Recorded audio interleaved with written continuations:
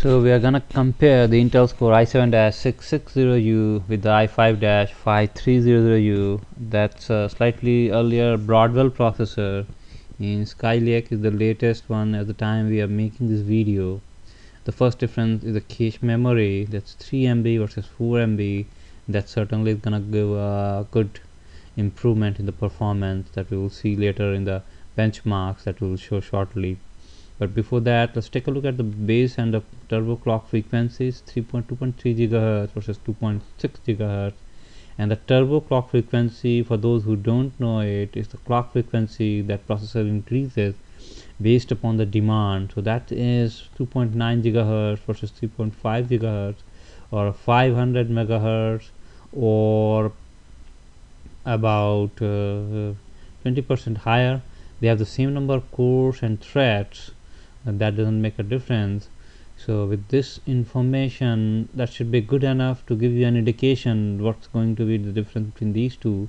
There is no substantial improvement in the performance for a given clock between Broadwell and Skylake maybe like 1 to 1.5 percent.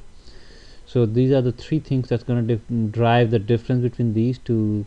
The clock frequencies the cache memory and the better architecture and we have this passmark the popular benchmark score for 6600U at 4747 versus 3847 for i5-5300U so i5 is still holds not too bad given that it's substantially low in clock frequency. So based upon that you can take your decision which the processor is better. And a couple of more things. One is the i7-6600U has DDR4 that works at 1.2 volt compared to DDR3 working at 1.5 volt.